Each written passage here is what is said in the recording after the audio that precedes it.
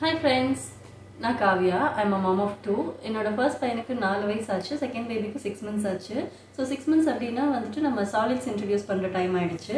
So solids introduce பண்ணுறதுக்கு முன்னாடி நம்ம என்னென்ன விஷயங்கள் தெரிஞ்சுக்கணும் அப்படின்றத தான் இந்த வீடியோவில் பார்க்க போகிறோம் ஃபர்ஸ்ட் வந்து சாலிட்ஸ் இன்ட்ரடியூஸ் பண்ணுறதுக்கு முன்னாடி சில சயின்ஸ் எல்லாம் பேபிஸ் கிட்ட பார்க்கணும் அப்படின்னு சொல்லுவாங்க. சில விஷயங்கள் என்னென்னா என்னென்னன்னா ஃபர்ஸ்ட் வந்து குழந்தைங்களுக்கு கழுத்து வந்து நேராக நிற்குது அப்படின்னு பார்க்க ஒரு நாலு மாதம் இல்லை அஞ்சு மாதத்துலேருந்து கழுத்து வந்து நேராக நிற்க ஆரம்பிச்சிடும். அப்படி நின்னதுக்கு அப்புறம் தான் அவங்களுக்கு சாப்பாடு ஊட்டணும். நிறைய பேர் வந்து அஞ்சு மாசத்துல படுக்க வச்சுலாம் சாப்பாடு ஊட்டுறாங்க. பட் அப்படி பண்ணக்கூடாது. நம்ம உட்கார்ந்ததுக்கு அப்புறம் அவங்களுக்கு சாலிடாக தான் ஃபுட் கொடுக்கணும். ஸோ ஓரளவுக்கு சப்போர்ட்டோட கொஞ்ச நேரம் உட்காடுறாங்களா அப்படி உட்காரலன்னா கூட கழுத்து நல்லா நேரம் நின்றுச்சு அப்படின்றது ரொம்ப முக்கியம். அதுக்கப்புறம் சிக்ஸ் மந்த்ஸ் கம்ப்ளீட் இருக்கணும். ஒன் எயிட்டி டேஸ் கம்ப்ளீட்டாக இருக்கணும். இது ஏன் சொல்கிறாங்க அப்படின்னா டங் த்ரஸ்ட் ரிஃப்ளெக்ஸ் அப்படின்னு ஒன்று இருக்கு. அதாவது குழந்தைங்க வந்துட்டு இயற்கையாகவே குழந்தைங்களுக்கு வந்து அவங்க ஏதாச்சும் வாயில் தெரியாமல் போட்டுட்டா கூட அதை வெளியில் தள்ளிடணும் அப்படின்னு வந்து அந்த ரிஃப்ளெக்ஸ் இருக்குது வேற ஏதாவது தேவையில்லாத பொருட்களை வாயில போட்டுட்டாங்க அப்படின்னா அது வந்து சோக்காகி அவங்களுக்கு வந்து ஆபத்து விளைவிக்கக்கூடியது.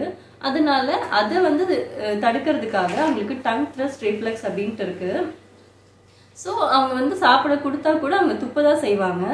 நாக்கில் வெளியில தள்ளி விட்டுருவாங்க. அது வந்து ஒரு ஆறு மாசம் ஆகுமா குறையறதுக்கு.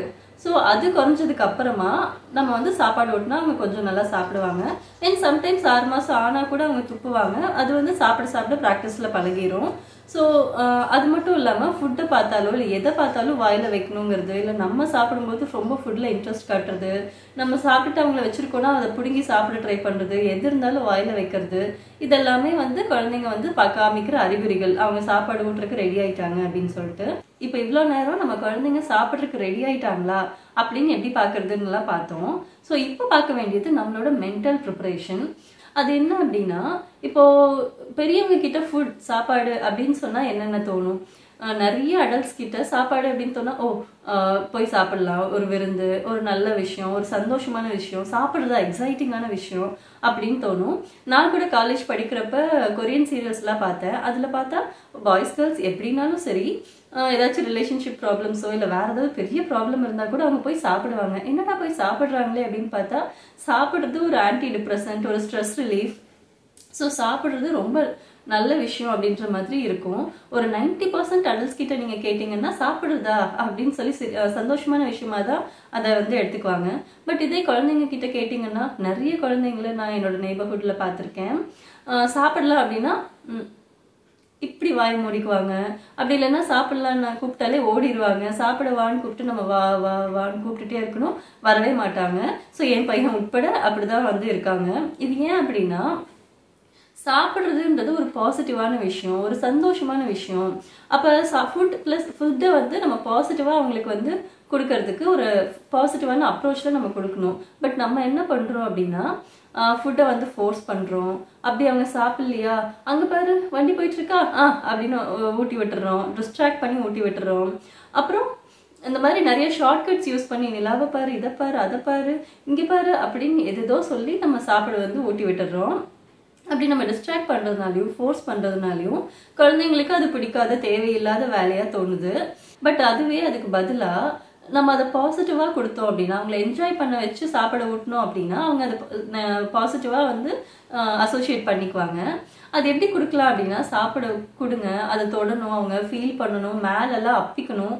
ஏன் அப்படின்னு கேட்டிங்கன்னா இப்போ நம்ம ஒரு ஃபோனை புதுசாக வாங்குறோம்னா அதில் ஃப்ரண்ட் கேம் எப்படி வேலை செய்யுது பேக் கேம் எப்படி வேலை செய்யுது அதில் என்னென்ன ஃபீச்சர்ஸ் இருக்குது அந்த அது இதுன்னு சொல்லி நம்ம எவ்வளோ யூஸ் பண்ணி பார்க்குறோம்.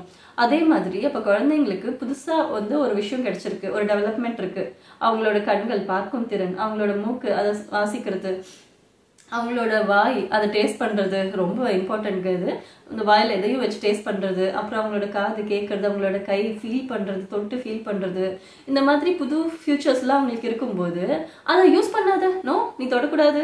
அப்படின்னு சொல்லி சாப்பாடு அவங்களுக்கு ஊட்டி விட்டு அவங்கள கையை அப்படியே பிடிச்சிக்கிட்டு நம்ம சாப்பாட்டை ஊட்டி விட்டுட்டோம்னா அவங்க எப்படி வந்து சாப்பிடுவாங்க அதை எப்படி என்ஜாய் பண்ணுவாங்க?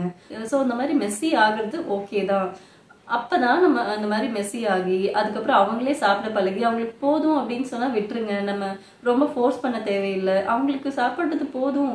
தான் வயிறு நிறைஞ்சிருச்சு அப்படின்ற நம்பிக்கையே அவங்களுக்கு நான் ஆமா என் வயிறு நிறைஞ்சிருச்சுன்னு எனக்கு தெரியுது. அப்படின்னு அவங்களோட வயிறு அவங்கள நம்புங்க. போதும்னு சொன்னா விட்டுருங்க. ஃபோர்ஸ் பண்ண வேண்டாம். அந்த மாதிரி நம்ம கொடுத்து பழக்கணும் அப்படின்னா கண்டிப்பாக அவங்களும் வந்து ஃபுட்டை பாசிட்டிவாக அசோசியேட் பண்ணிக்குவாங்க.